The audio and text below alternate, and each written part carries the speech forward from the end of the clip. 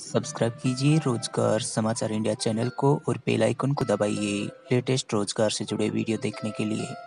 दोस्तों, नमस्कार, मैं हूँ कृष्ण कुमार और आप देख रहे हैं रोज़गार समाचार इंडिया चैनल। साथियों, अगर आप मेरे इस रोज़गार समाचार इंडिया चैनल के पहली बार देख रहे हैं, अगर आप अभी तक मेरे इस रोज़गार समाचार इंडिया चैनल के लाल रंग के सब्सक्राइब और घंटी वाले बटन को नहीं दबाया तो प्लीज़ लाल रंग के सब्सक्राइब और घंटी वाले बटन को ज़रूर दबाइए।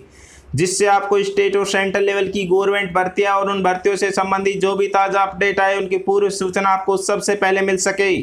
साथियों, मैं इस वीडियो में बताऊँगा कि जो ये राजस्थान पत्रिका में, जो यूपी में शिक्षकों की भर्ती के लिए लेटेस्ट नोटिफिकेशन आया है, उसके बारे में आपको बताऊँगा, इसलिए आप इस वीडियो को शुरू से अंत तक पूरा देखें।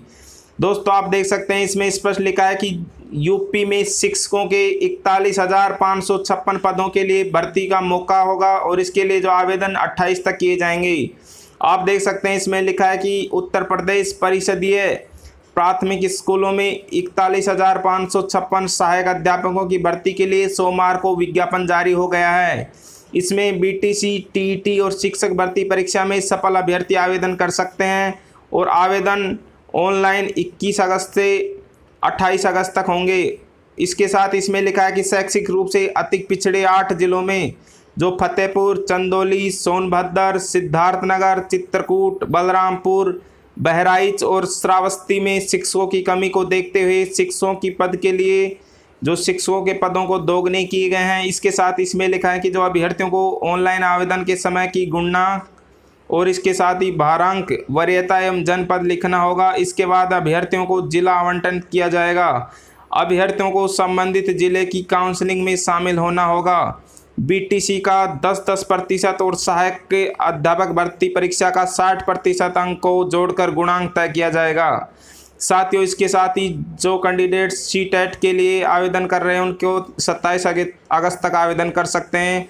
सी टेट के लिए भी ये महत्वपूर्ण नोटिफिकेशन आया है। इसमें लिखा है कि शिक्षक बनने की चाह रखने वाले अभ्यर्थियों के लिए अच्छी खबर है। इसमें सीबीएसई ने केंद्रीय शिक्षक पात्रता परीक्षा यानी कि सी टेट के लिए 27 अगस्त तक ऑनलाइन आवेदन मांगे हैं। इस वर्ष सी टेट परीक्षा देश के बानवे शहरों में 20 भाषाओं में होगी। इस परीक्षा को पास करने के बाद अभ्यर्थी किसी भी स्कूल में शिक्षक बन सकते हैं।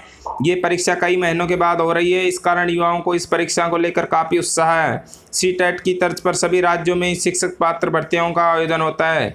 दोस्तों, इस प्रकार ये जो यूपी में शिक्षकों की भर्ती निकली है बम्पर भर्ती, इसके लिए आप आवेदन कर सकते हैं। दोस्तों, इसी प्रकार जो भी गवर्नमेंट विभाग में भर्तियाँ निकले और उन भर्तियों से संबंधित जो भी ताज़ा अपडेट आए, उनकी पूर्व सूचना आप तक सबसे पहले पहुंचाता रहूँ। इसलिए आप मेरे इस रोज़गार समाचार इंडिया चैनल के लाल रंग के सब्सक्राइब और घंटी वाले बटन को ज़रूर दबाइए और ज़्यादा से ज़्यादा शेयर और लाइक भी कीजिए। धन्यवाद दोस्तों।